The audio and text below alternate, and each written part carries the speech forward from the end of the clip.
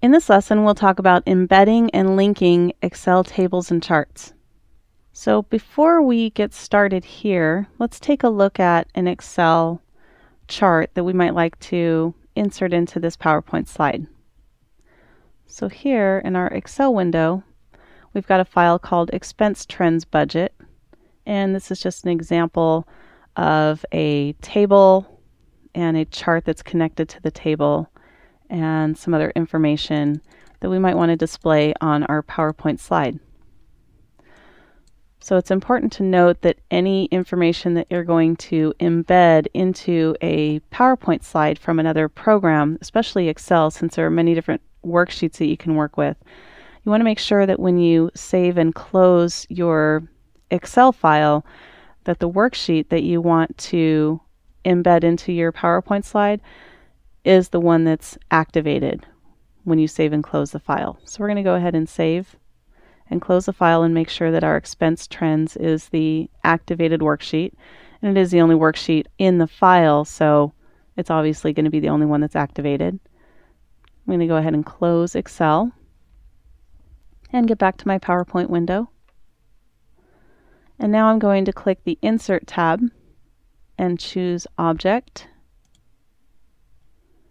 and in the last lesson, we learned how to create a new object from another program into PowerPoint.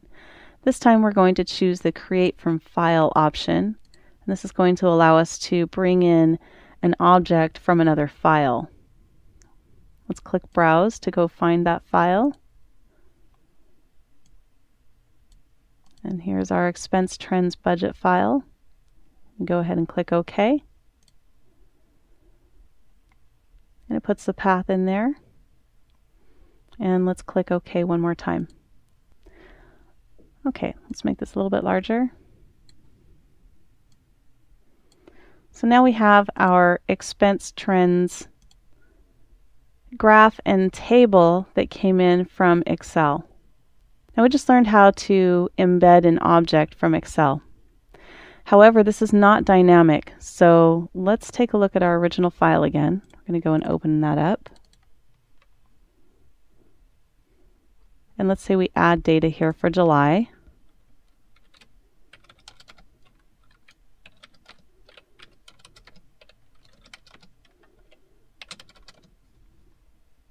And we're going to save and close.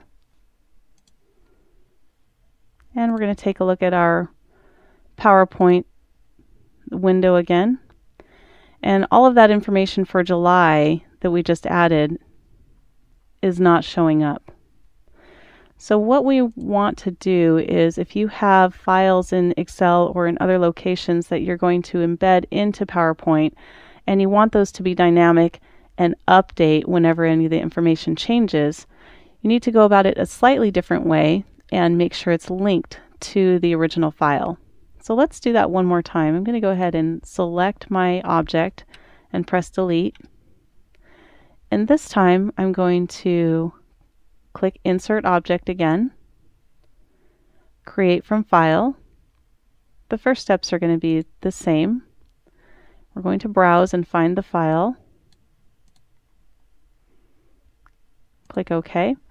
This time though, we're going to check on this link button. And the description here will tell us that the picture will be a shortcut to the file so that changes to the file will be reflected in your presentation. Go ahead and click OK. And now you see that the information that we added for July is there. Let's make this a little bit larger so we can see it. And we're going to test this. We're going to go back to our source file here. And let's modify some of the July information. Let's say that this 85 is now 240. I made that blue bar a lot taller. And let's take a look at this item here and let's make this 450. I made that green bar really tall. I'm going to save it and get back to our PowerPoint window. Now it's not going to automatically update unless we've closed our file and reopen it. So what we're going to do is we're going to right click on the object itself and we're going to choose Update link. And now any changes that were made within the original file will be updated within your PowerPoint image. And that concludes our lesson on embedding and linking Excel tables and charts.